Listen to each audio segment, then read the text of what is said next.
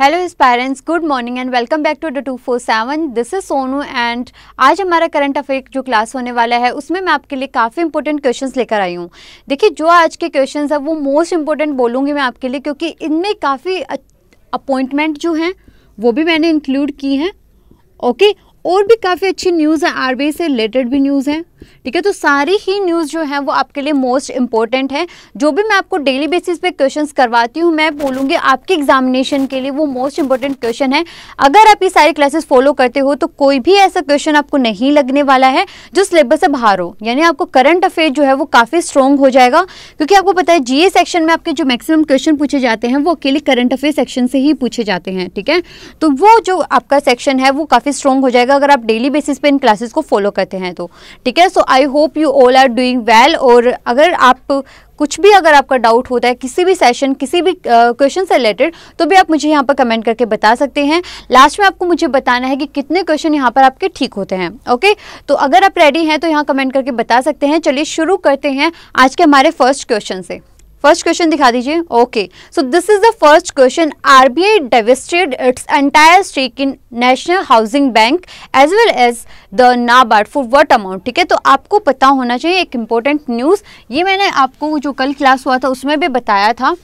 RBI जो है, वो ओन करता था किसको? नेशनल हाउसिंग बैंक को। उसके अंदर आरबीआई का कितना परसेंट स्टेक था? हंड्रेड परसेंट स्टेक था। और नेशनल हाउसिंग बैंक जो है, उसको आरबीआई का सब्सिडरी भी बोला जाता था। लेकिन अब क्या हो गया? नेशनल हाउसिंग बैंक जो है, वो किसके अंडर आ गया है? गवर्नमेंट ऑफ़ इंडिया के अंडर आ गया है। यानी अब उसका हंड्रेड परसेंट स्टेक जो है, वो किसके पास आ गया है? गवर्नमेंट ऑफ़ इंडिया का हो गया एज वेल एज जो नाबार्ड है उसमें मैक्सिमम जो स्टेक था वो हमेशा से गवर्नमेंट ऑफ़ इंडिया का था, लेकिन कुछ परसेंट जो स्टेक था वो किसके पास था?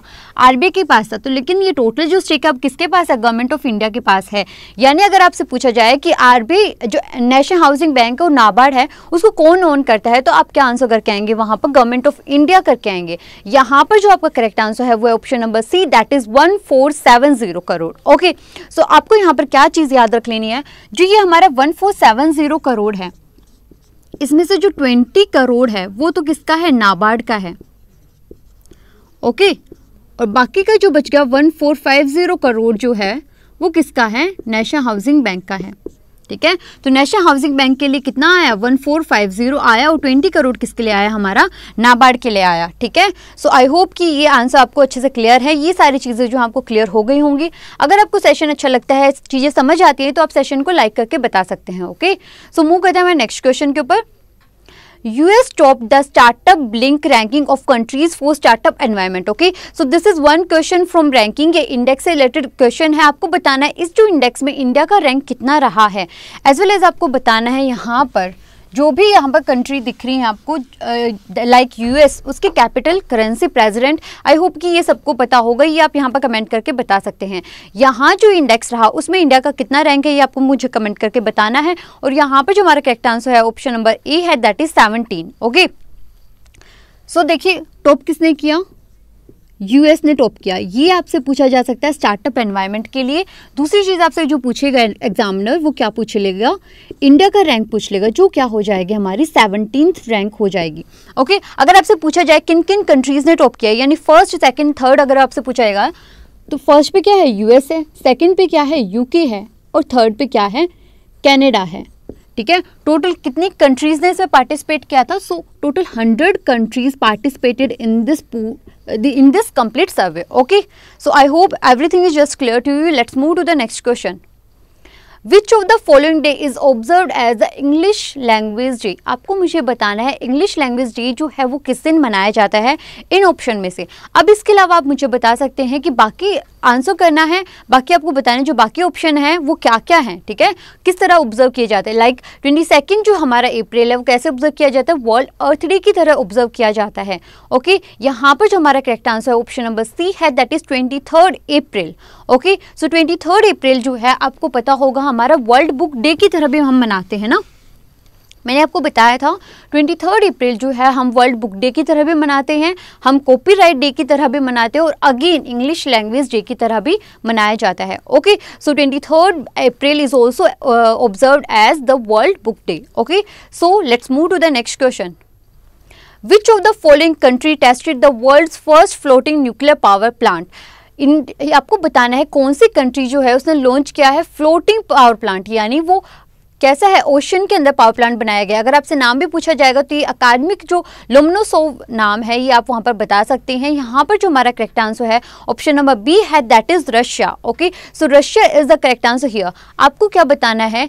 Israel Russia as well as Iran और सऊदी अरेबिया इनका जो कैपिटल है और इनका जो करेंसी है, वो आपको मुझे यहाँ पर कमेंट करके बताना है। रशिया काफ़ी इम्पोर्टेंट है हमारे लिए, क्योंकि अभी क्या हुआ है?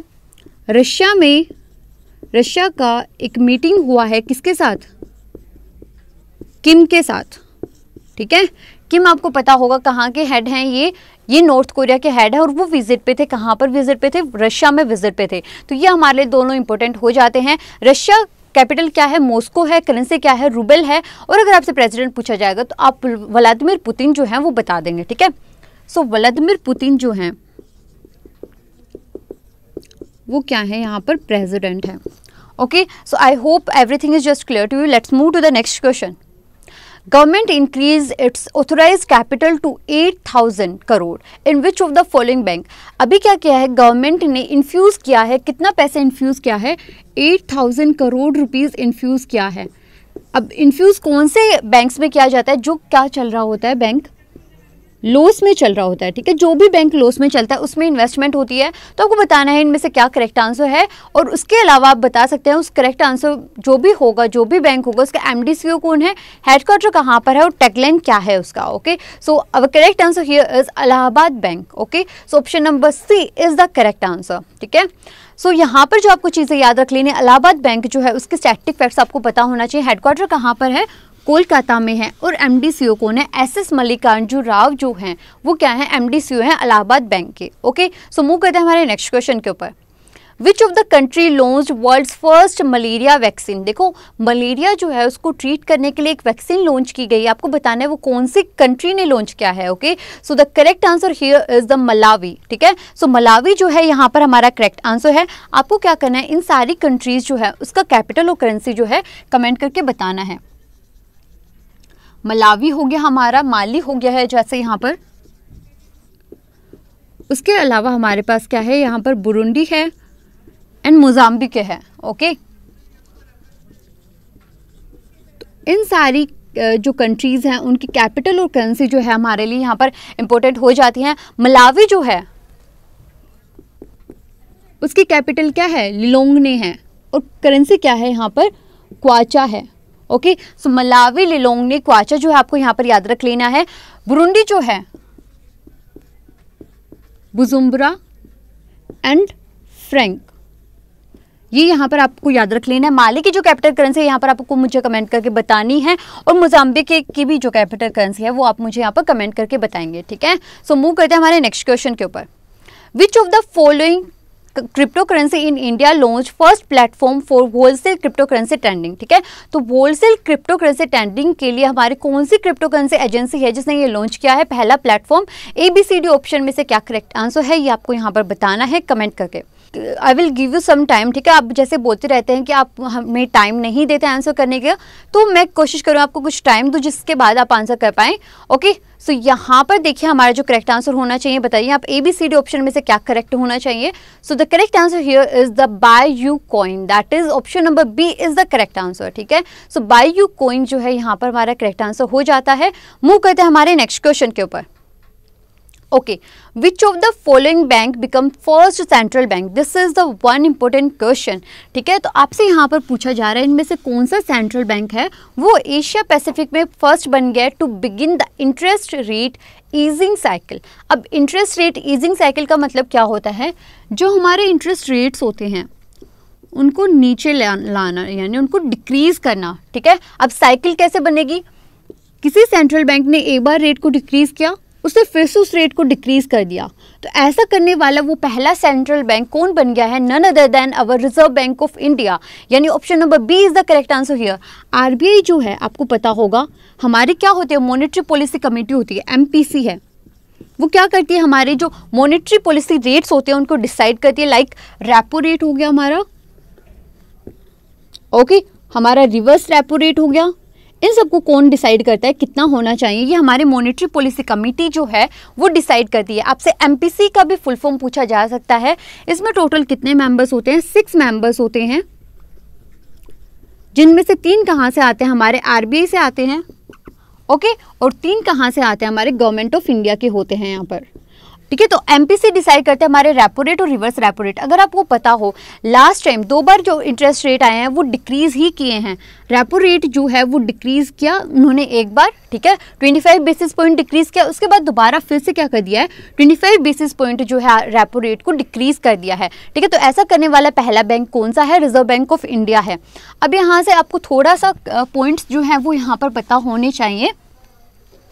वो है कि वट इज़ रेपो रेट आपको मुझे करंट रेट बताना है, क्या चल रहा है अभी? ठीक है and what is reverse repo rate okay so पहले हम इनकी डेफिनेशन की बात कर लेते हैं। रेपो रेट क्या होता है? Repo rate is the rate of interest जहाँ पर क्या होता है, जब भी बैंक्स को पैसे की रिक्वायरमेंट होती है तो आरबीआई जो उनके ऊपर चार्ज करता है the rate which is charge by RBI on the money given to the local banks okay तो वहाँ पर जो बैंक्स होते हैं, उनको जो पैसा दिया जाता है, उस पर जो रेट लगता है, उसको रेपो रेट बोलते हैं। इन रिटर्न जो बैंक्स अपना पैसा आरबीआई के पास जमा करते हैं। बैंक्स देते हैं किसको? आरबीआई को। ठीक है? उस पर जो आरबीआई पे करता है, देखो, अब बैंक अगर अपना पैसा आरबीआई को दे रहे हैं तो आरबीआई को वहाँ पर इंटरेस्ट पे करना पड़ेगा। तो आरबीआई क्या करता है? वहाँ पर कम इंटरेस्ट पे करता है, जबकि बैंक जो होते हैं, अगर बैंक को रिक्वायरमेंट है पैसे की आरबीआई से तो क्या करते हैं? बैंक को ज़्यादा इंटरेस्ट पे करना पड़ता है। इसी वजह से रेपो रेट जो होता है, हमेशा ज़्यादा होता है किससे? रिवर्स रेपो रेट से। Okay so I hope this is clear to you let's move to the next question which of the following country sets up coordinating council to attract Indian investment ठीक है? तो Indian investors को attract करने के लिए ये council का setup किसने किया है? ये आपको मुझे बताना है। यहाँ पर जो हमारा करेक्ट आंसर है, वो आपको बताना है क्या होना चाहिए।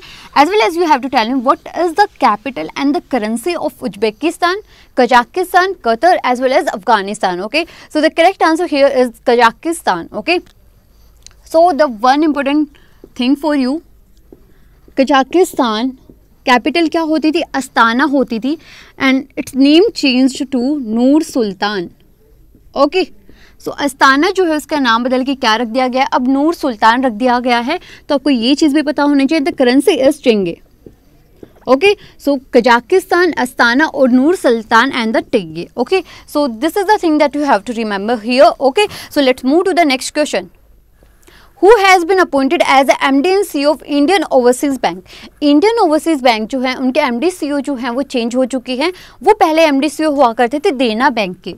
Okay okay? पहले वो कौन से बैंक के एमडी थे? देना बैंक के थे। अब वो कौन से बैंक के बन गए हैं? इंडियन ओवरसीज बैंक के बन गए हैं। His name is Karnam Shekhar okay so the Karnam Shekhar is the correct answer here so Karnam Shekhar has become the M D N C of Indian Overseas Bank अब यहाँ पर क्या है हमारे लिए इम्पोर्टेंट हेडक्वार्टर किसका? Indian overseas bank का, ठीक है? So the headquarter is in Chennai and the tagline is good people good people to grow with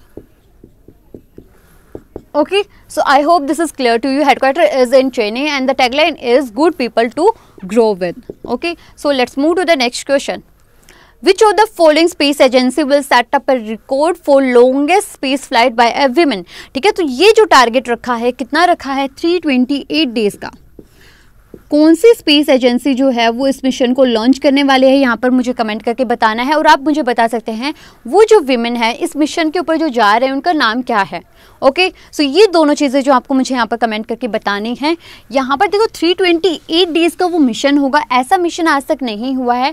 correct जो आंसर यहाँ पर हमारा है, वो है NASA option number B is the correct answer okay and Christina Koch